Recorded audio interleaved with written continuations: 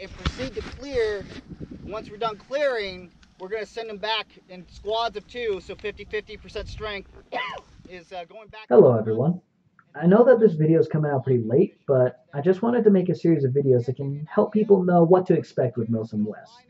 Therefore, these videos will include my insight and explanations as to what our missions were and what's going on. Now, if mission briefs aren't your thing and you just want action, don't worry, I got you covered. Just look in the description below for timestamps. Alright, let's get started.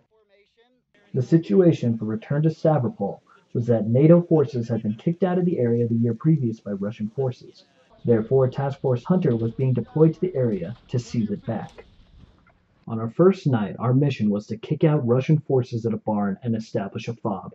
We would be conducting an airborne insertion into the AO. Now, I wish I had footage of this engagement, but I think you can understand why I don't. So I'll do my best to describe what happened as briefly as possible, because it's important to understand the Milsim West experience. I was a part of 1st Platoon, 1st Squad, attached to the Canadian team Trainwreck, acting as Bravo team leader. Our chalk for the jump was chalk 6, which meant we were one of the last to jump. Chalks 1 and 2 would be jumping here, then moving here, in preparation to be the main assault element.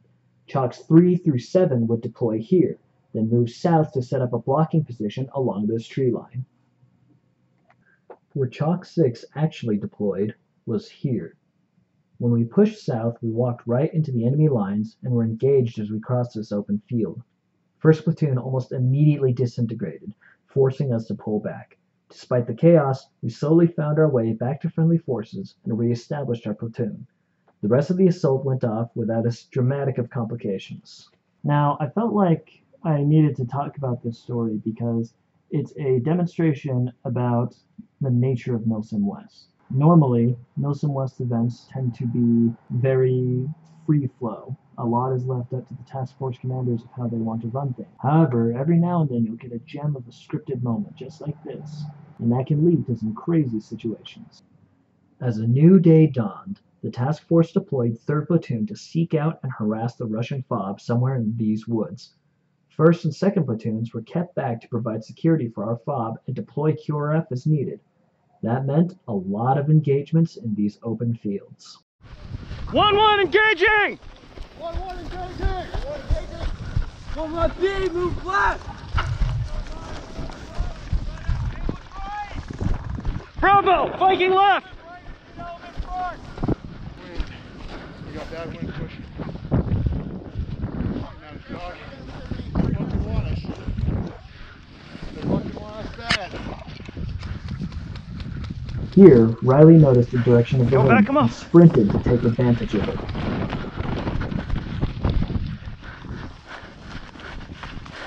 Toast! Toast! Hey, get the 60 up here! Hey, MG, up here! You've got crossing field of fire. You can schwack them all in a line here.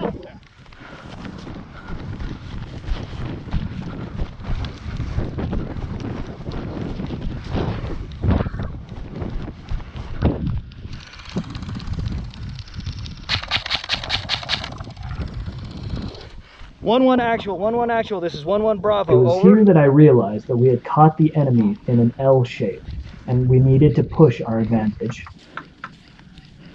Hey, bring it in on the right flank.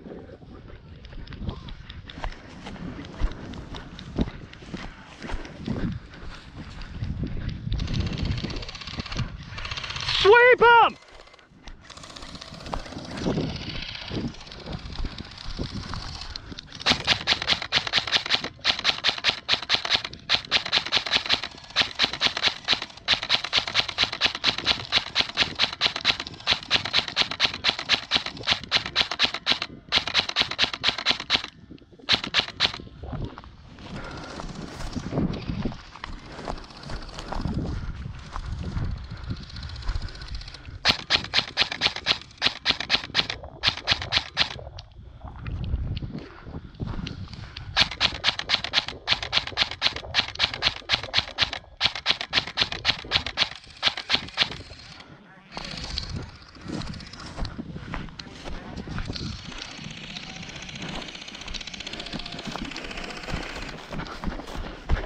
Keep holding here.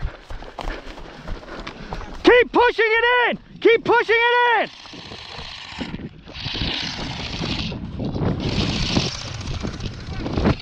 Close it in!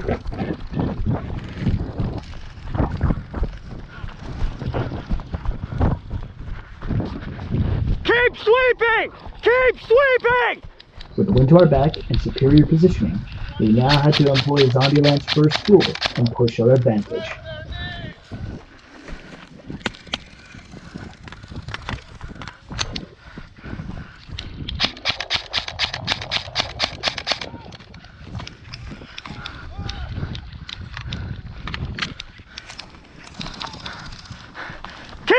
Keep sweeping!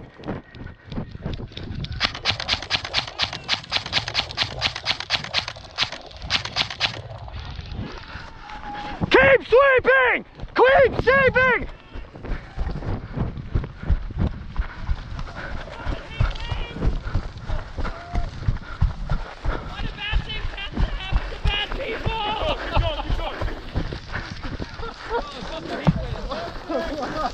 Sweep!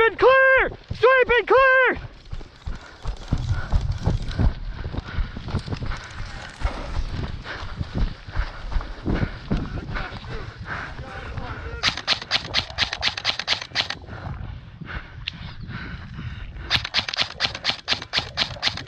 No fucking way. Sweep and clear!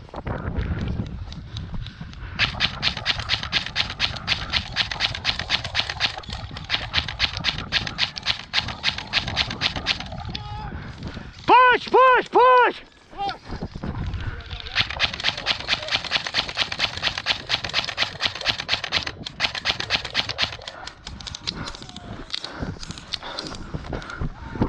push! Push, push!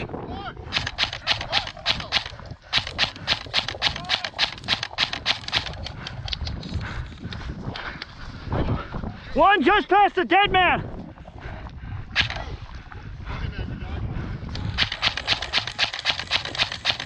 Oh, it went out like Okay, pull, set security! Set security!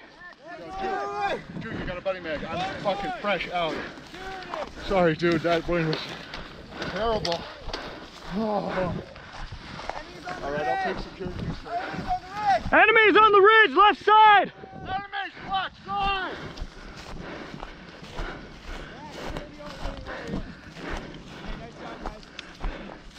All right, set security, set security!